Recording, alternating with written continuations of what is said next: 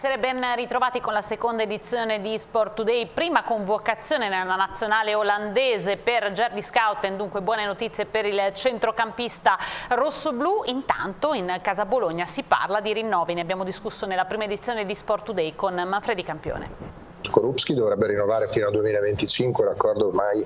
è, è, cotto e quindi direi che su quell'aspetto almeno del rinnovo contrattuale non ci sono novità, poi si vedrà sui portieri eh, cosa si farà, ma eh, già Mihailovic eh, indiscrezioni insomma, dicono che si andrà avanti sia con lui che con Bardi, quindi di fatto il discorso Porta sembra essere abbastanza ancorato sulle vecchie, sulle vecchie tradizioni. Eh, sul discorso invece del prolungamento di Soriano ed eventualmente di Sansone, su di loro si deve fare un discorso un po' più completo anche dal punto di vista dell'ingaggio che è molto alto, si sa, erano arrivati in un momento dove Bologna doveva salvarsi, in grande emergenza, eh, il ruolo di Sansone è cambiato in questa squadra e sicuramente lui dovrà fare una ripensata anche su questo aspetto, invece su, su Soriano si potrebbe anche continuare su, questi,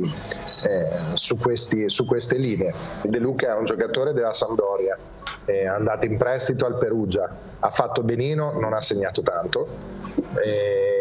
ha fatto la sua gavetta in Serie B con anche una stagione importante due anni fa,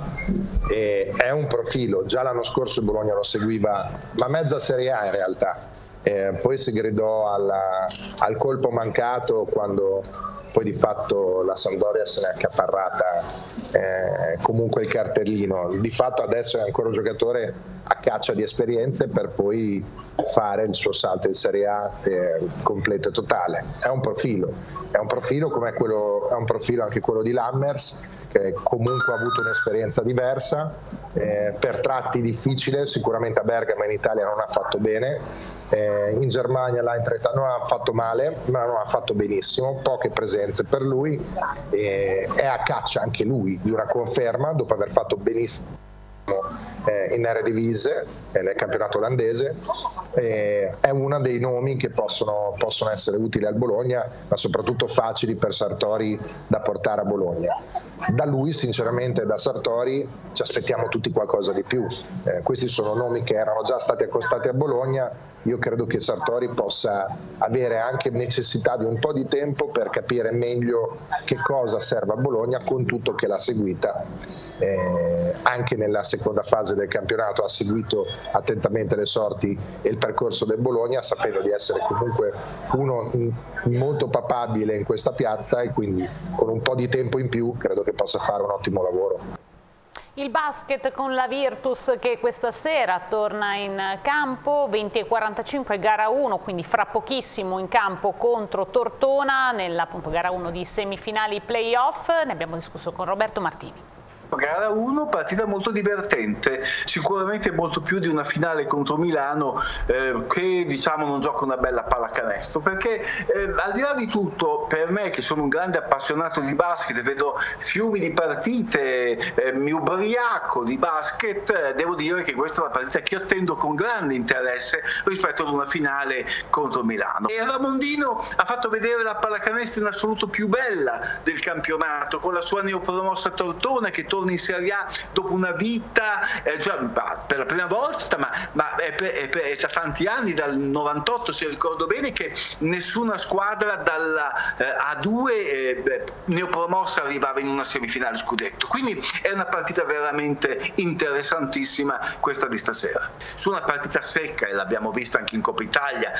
Tortona può battere una Virtus magari affaticata, stanca e spompata eh, dalle Eurolega e dagli infortuni. Eh, poi è una Virtus diversa con Hackett e Senghelia in più. Quindi a questo punto a questo punto è chiaro che eh, no, non ce la può fare ce la può fare in una partita in due, magari anche in tre, ma su cinque no. Attenzione, il signor Ramondino stava per fare eh, un mazzo così alla Virtus quando allenava Casale Monferrato. Lui e l'accoppiata Marco Martelli, eccellentissimo manager, produssero a Casale Monferrato una squadra che batté praticamente la Virtus se non ci fosse stato un infortunio di Severini magari avrebbe anche vinto. E la Virtus rischiò tantissimo di uscire ma era una 2 e non una 1 non c'era nella Virtus questa struttura così forte così ricca così lunga di giocatori. Insomma se pensiamo che nella Virtus l'undicesimo è Mannion io credo che Tortona vorrebbe averlo eh, in squadra.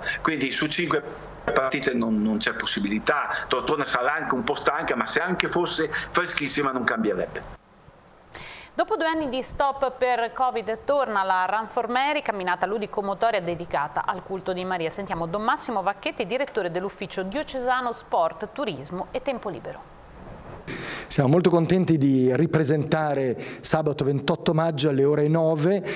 strada, su Strada Maggiore Angolo Due Torri la terza edizione della Run for Mary, una corsa nata nel 2018 per onorare la Madonna nei giorni in cui rimane in città. Sono 5 km lungo il centro di Bologna. Di fatto una caratteristica di questa corsa o camminata, che dir si voglia perché ognuno la potrà vivere come meglio e come meglio può e meglio vuole, è di scoprire anche la città di Bologna, il centro di Bologna, un sabato mattina, quindi senza particolare traffico, godendo godendosi una Bologna splendente, per arrivare nel cortile dell'Arcivescovado che è un traguardo di un evento sportivo dove lì consumeremo una colazione tutti insieme. Il Vescovo non manca a dare il via, l'aveva fatto anche nella prima edizione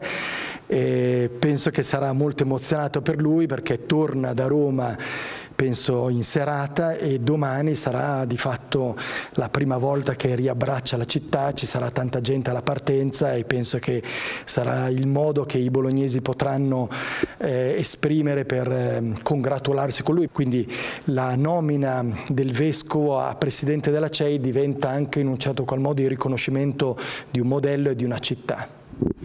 Qua abbiamo la maglietta dello staff e con uno slogan particolare. Alcuni mesi fa è morto Serafino Donofrio, che era presidente dell'ICS. Io scrissi un articolo sul Carlino per raccontare il rapporto e l'amicizia che mi legava a Serafino e gli ho promesso che nel caso in cui avessimo fatto e ripresentato la Ranformeri avrei messo come sottotitolo a Maronata Compagna, che è il saluto con cui lui si congedò da me la prima volta che gli raccontai di questo progetto, a cui lui come presidente di ICS aderì generosamente generosamente ehm, è il saluto con cui lui si congedò da me. Io presi questo saluto, lo tradussi in dialetto bolognese, la Madonna la seppa semper tig, ma penso che in dialetto napolitano anche i bolognesi lo capiscono molto bene. E domani prenderà via la seconda edizione del Bologna Montana Evergreen Fest, il festival dell'ambiente e della sostenibilità. Sino al 5 giugno saranno previste iniziative e manifestazioni con l'obiettivo di valorizzare il territorio e diffondere uno stile di vita virtuoso e sostenibile. Allora, eh, gli eventi eh, coinvolgeranno i territori dei comuni di Bologna, Montana, Loiano, Monghidoro, Monzuno e San Benedetto Val di Sambro. Andiamo a ascoltare i loro organizzatori e istituzioni. Daniele Maestrami torna il Montana Green Festival, di cosa si tratta e come si sviluppa? Eh, quest'anno eh, Viva il Verde organizza la seconda edizione di Bologna Montana Evergreen Festival che eh, si terrà dal 28 maggio al 5 giugno sui territori di eh, Bologna Montana, appunto i comuni di Loiano, Monghidoro, Muduno e San Benedetto. E sono previsti una quarantina di, eh, di eventi eh, di tutti i tipi, ehm, dei meeting,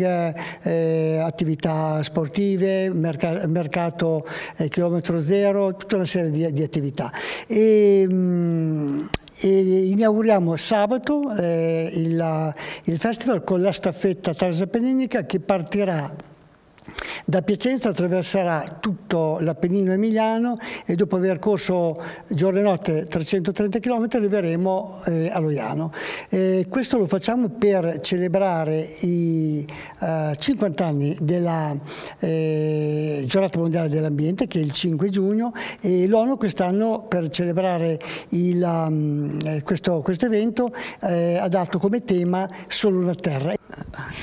Marco Mastacchi, l'importanza di essere attenti all'ambiente dove viviamo, eh, è giusto sempre sottolinearlo anche con delle giornate proprio dedicate?